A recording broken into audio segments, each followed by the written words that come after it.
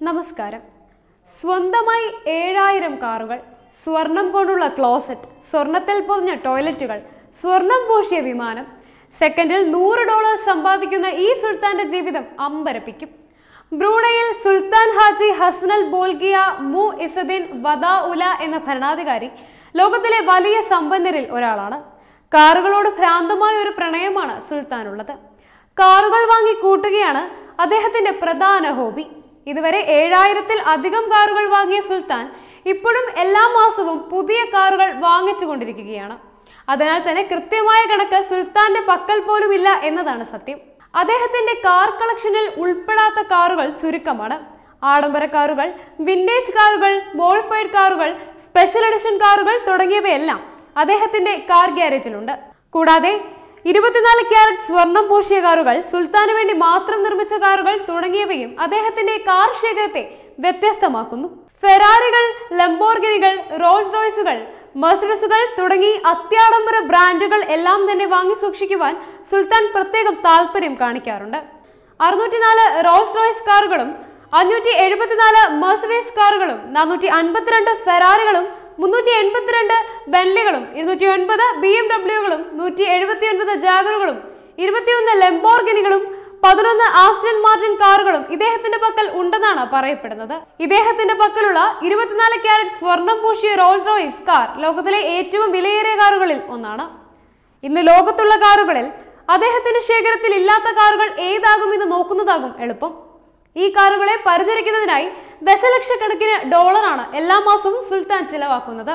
വിദഗ്ധരായ നിരവധി കാർ മെക്കാനിക്കുകളെയാണ് അദ്ദേഹം ഇതിനായി നിയമിച്ചിരിക്കുന്നത് സുൽത്താന് വേണ്ടി മാത്രം നിർമ്മിക്കപ്പെട്ട ഫെറാറികളും ലംബോർഗിനികളും റോൾസ് റോയ്സുകളും എല്ലാം ഉണ്ട് ഇവയെക്കുറിച്ച് യാതൊന്നും പുറത്തുവിടരുതെന്ന് കാർ കമ്പനികൾക്ക് അദ്ദേഹം കർശന നിർദ്ദേശവും നൽകിയിട്ടുണ്ട്. ആയിരത്തി തൊള്ളായിരത്തി ഇരുപത്തി ഒൻപതിൽ എണ്ണ ഖനനം തുടങ്ങിയതോടെയാണ് ബ്രൂണൈ ലോകത്തെ വൻ സാമ്പത്തിക ശക്തിയായി മാറുന്നത്. ആയിരത്തി തൊള്ളായിരത്തി എൺപത്തിനാലിൽ ബ്രിട്ടനിൽ നിന്നും സ്വാതന്ത്ര്യം നേടിയതോടെ ബ്രൂണെ ലോകത്തെ ഏറ്റവും നല്ല ജീവിത നിലവാരമുള്ള രാജ്യങ്ങളിൽ ഒന്നായി മാറി. നാല് പോയിന്റ് അഞ്ച് ലക്ഷം ജനങ്ങൾ വസിക്കുന്ന ഈ രാജ്യത്ത് പൗരന്മാർ നികുതിയൊന്നും നൽകേണ്ടതില്ല.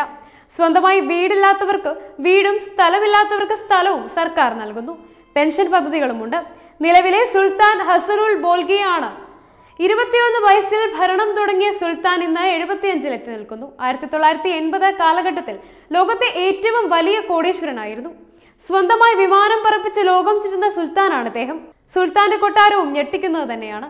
ആയിരത്തി എഴുന്നൂറ്റി എൺപത്തി എട്ട് റൂമുകളുള്ള കൊട്ടാരത്തിന്റെ മൊത്തം വിസ്തീർണം രണ്ട് കോടി ഒരു ലക്ഷത്തി അൻപത്തിരണ്ടായിരത്തി എഴുന്നൂറ്റി എൺപത്തിരണ്ട് സ്ക്വയർ ഫീറ്റ് ആണ് കട്ടിലും കസാരയും മുതൽ കക്കൂസിന്റെ ക്ലോസറ്റ് വരെ സ്വർണം കൊണ്ട് പണിതത് ഈ അത്യാഡംബര കൊട്ടാരത്തിലുണ്ട്.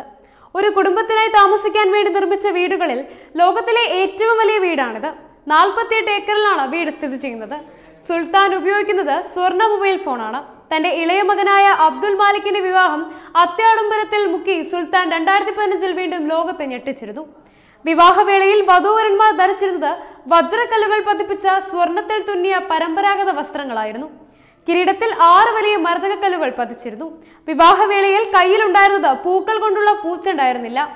രത്നങ്ങൾ കൊണ്ടായിരുന്നു പൂച്ചണ്ട നിർമ്മിച്ചത്. മൂന്ന് ഭാര്യമാരിലായി പന്ത്രണ്ട് മക്കളാണ് സുൽത്താനുള്ളത്. ഇരുന്നൂറ്റി ഇരുപത് മില്യൺ ഡോളർ വിലയുള്ള സ്വകാര്യ ജംബോജറ്റ് വിമാനവും ഈ സുൽത്താന് സ്വന്തമായുണ്ട്. സ്വർണത്തിൽ ഇന്റീരിയർ തീർത്ത ഈ സ്വകാര്യ ജെറ്റ് വിമാനത്തിൽ ലിവിംഗ് റൂമും കോൺഫറൻസ് റൂമും ബെഡ്റൂമും ബാത്റൂമും ഉണ്ട് മാസം തോറും മുടി മുറിക്കുന്നതിലും സുൽത്താൻ ആഡംബരം കുറയ്ക്കുന്നില്ല. ഇരുപത്തി ഒന്നായിരം ഡോളറാണ് മുടി വെട്ടാനായി ചിലവഴിക്കുന്നത്. അമ്പതാം പിറന്നാൾ ആഘോഷത്തിന് മൈക്കൽ ജാക്സനെ ബ്രൂണയിൽ എത്തിച്ച സുൽത്താൻ സമ്മാനമായി നൽകിയത് നൂറ്റി കോടി ഇന്ത്യൻ രൂപയാണ്. സെക്കൻഡ് തോറും നൂറ് ഡോളറാണ് സുൽത്താൻ സമ്പാദിക്കുന്നത്. സുൽത്താൻ ഒരു ദിവസം ചിലവാക്കുന്ന തുക പുറത്തുവിട്ടിട്ടില്ല. എങ്കിലും സുൽത്താന്റെ സഹോദരൻ പ്രതിദിനം നാൽപ്പത്തി ഏഴായിരം ഡോളർ ചിലവഴിക്കുന്നതായി വാർത്തകളുണ്ട്. നമ്മുടെ കോഴിക്കോട് മലപ്പുറം ജില്ലകൾ കൂടിച്ചേർന്നാൽ ബ്രൂണയേക്കാളും വലുതാണ്.